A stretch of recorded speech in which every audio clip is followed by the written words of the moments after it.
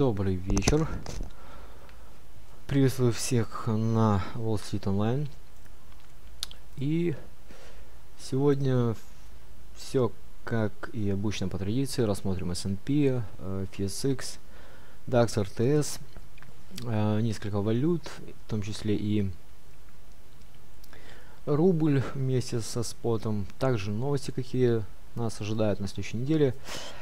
В общем, э, лето, как и предполагалось, э, достаточно такое флетовое, без э, подвижных динамик, особенно если я так по, по S&P рассуждаю.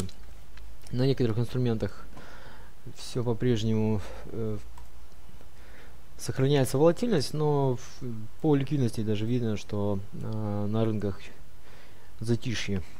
Итак, ну, на этой неделе первое, что стоит отметить, и обязательно это нужно учитывать в дальнейших э, своих размышлениях по поводу финансовых рынков, это понижение процентной ставки э, на этой неделе такого государства, как Британия. Ну, собственно, э, э, занятие не дешевое, поэтому я вполне ожидал, что они понизят ее не в этот раз, так в следующий точно.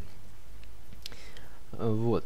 Так, э, также Япония тоже вводит достаточно мягкие, э, мягкие смягчительные меры э, для экономики. Ну, странным образом достаточно такие крупные державы такой примитивный метод спасения экономики применяют. Никаких новшеств. Ну да ладно. Так, э, значит, э, по новостям. Понедельник. Сальдо торгового баланса по Китаю. Э, страна за счет этого и э, живет, поэтому торговый баланс нужно мониторить. Процентная ставка, вернее решение по процентной ставке Индия. Вторник, 9 августа в 8.30 утра. Пока 6,5% ждут без изменений. И в 11.30 по Британии объем э, производства в обрабатывающей промышленности. В среду, как обычно, запасы сырой нефти. У них раз в неделю они очень сильно меняются. Э, вот, поэтому в 17.30 в среду может быть э, волатильность на российском рынке. А в пятницу, 12 августа, по Германии ВВП за второй квартал э, и объем промышленного производства по Китаю. Из э, важных по штатам, ну, собственно, Petroleum в среду и Jobless Claims э, на открытии биржи э, в четверг. Ну и открытие будет таким э, тоже с хорошими индексами э, важнецкими э, 8.30 в пятницу. Вот. Ну, в принципе, понедельник, вторник будет более-менее спокойный. Я думаю, даже среда. Э, Петролиум уже понятно уже все с ним, поэтому сильно много он э, волну не создаст огромную. Вот понижение процентной ставки Британии это вот самое оно. Ну и вместе с Японией, собственно. Все крупные э, страны э, сидят на нулевых практически процентных ставках. А, отчетный период по штатам э, завершился достаточно так с вопросом по многим позициям э, в отчетности. Вот, э, достаточно такие значения близки к прошлым, то есть нельзя сказать сильный негатив, но и в позитивом это особо не назовешь. Э, так, ну сейчас вы видите таблицу э, рейтинг за э, текущую часть контракта, это по S&P. Причем по S&P достаточно так неплохой список трейдеров участвует. Э, принимает участие, э, показывает свою доходность. А, порядка 50-60 трейдеров по э, валютному фьючерсу на пару евро-доллар. Люкстроник тут просто с каким-то невероятным разрывом. Просто оторвался, ну, так существенно. И серийность, э, вот 35 позиций из 36 плюсовой. Давайте посмотрим, что же там было. Мне самому стало интересно. отличная серийность, э, чтобы все так могли. Одна всего лишь, э, ух ты, миллиардами. Так, тысячу контрактов на еврике прям в стакане зайдут без проблем. Э, стакан даже, даже не заметит такую сумму. Точно. Особенно на открытии э, европейской сессии. А, для чего такие огромные... Не понимаю. Так, э, старички дизель GT25 радуют. Э, Пират. Биг. Э, как я обещал, будет в десятке. Пока вот обещание сдержал, это хорошо. А у Андре X вообще просто какая-то волшебная торговля. Никаких промашек. Надеюсь, здесь будет э, получше.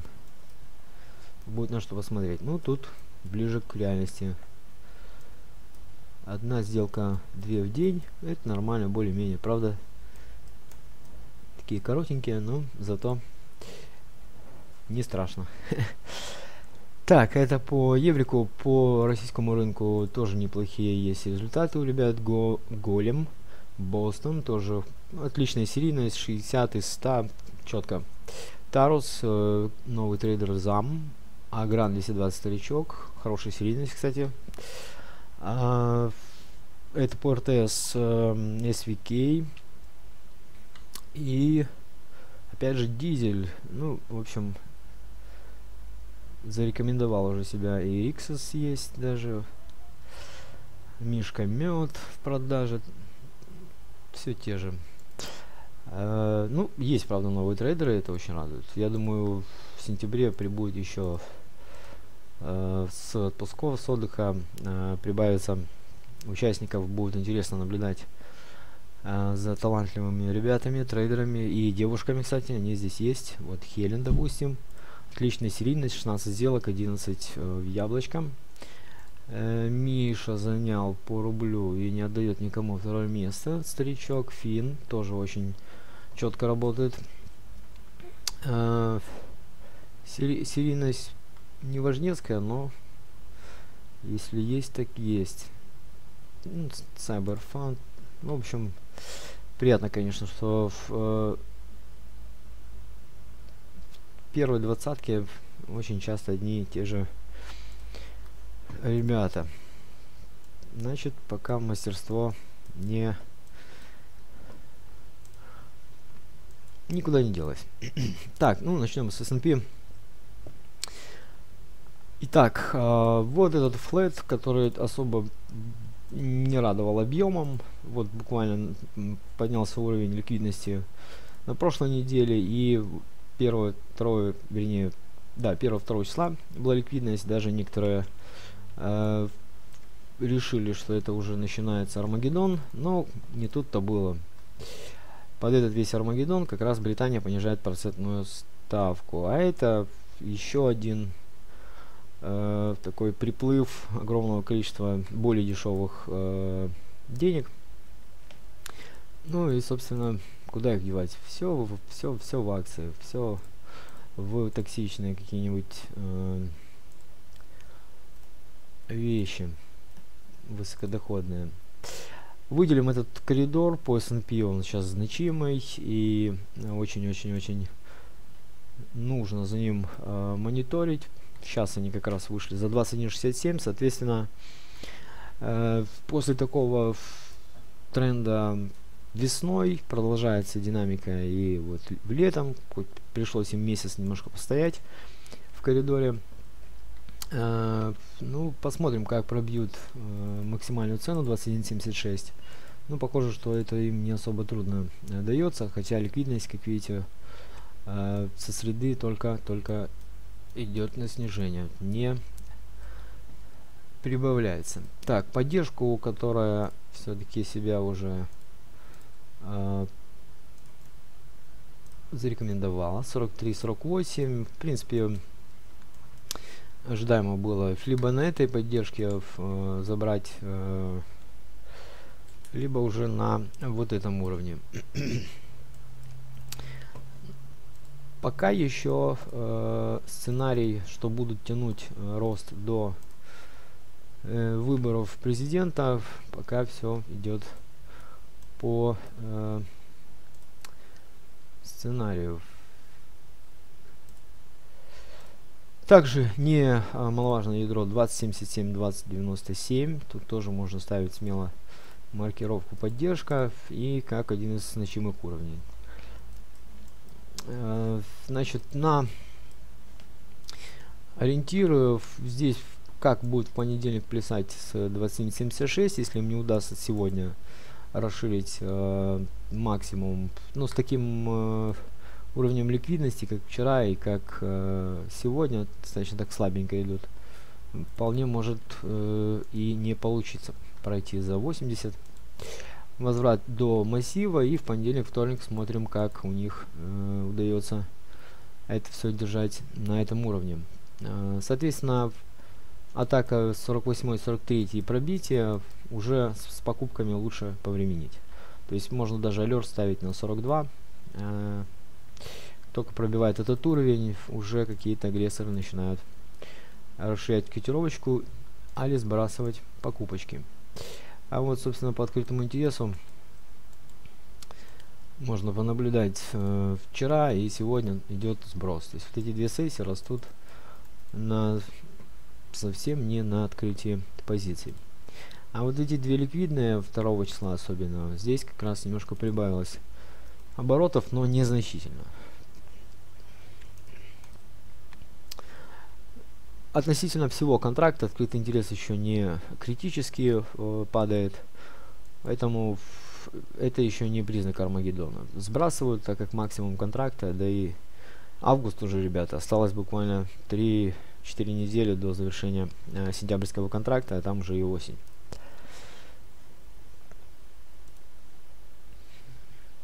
Так.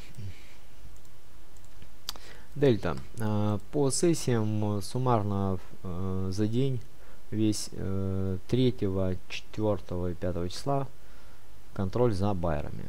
Хоть там и падает открытый интерес, но здесь 3 дня идут э,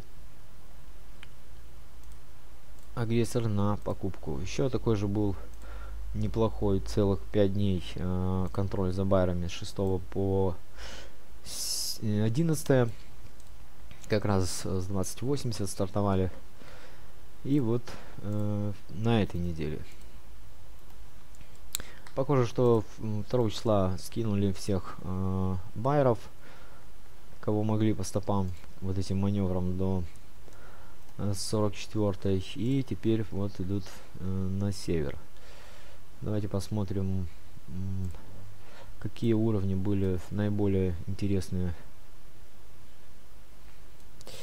Э,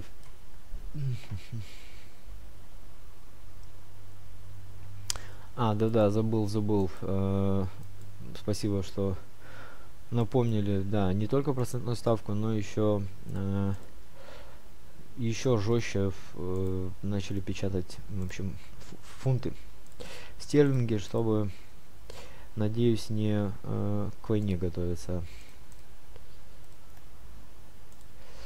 Так, вот, собственно, эти три сессии, и активность байеров была 21.52, 20.56, 60 по 62 с копейками, и вот видим мы здесь прям на